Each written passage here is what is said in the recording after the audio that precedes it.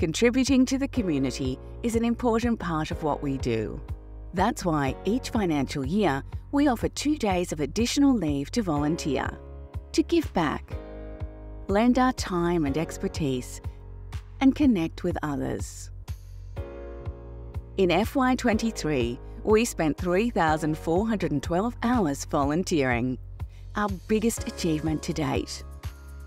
Together, we cooked meals, packed care hampers, made shelters for native wildlife, regenerated bushland, cared for rescued animals, provided emergency food relief, and so much more. Thank you to our people and partners for helping us make a difference.